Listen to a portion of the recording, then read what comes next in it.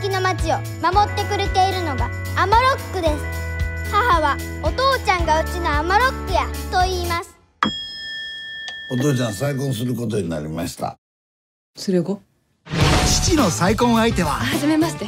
相沢咲です。二十歳の美女？なんで？よりによってお父ちゃんなお金もないし解消もないで。言うとくけどお前の方が邪魔もんやねんぞ家族揃ってご飯食べようね。家族団らんや。あのガキどうせ団らんの漢字もわからんくせに。優子ちゃんにお見合いの話持ってきて。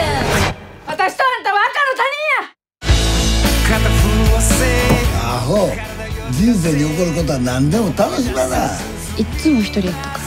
けど今は三人一緒やから。思い通りにいかない人生もロックに生きる。食うて寝たら大概のことはなんとかなるわ。アマロック。父ちゃんこの子黙らしてよ何やねんその顔。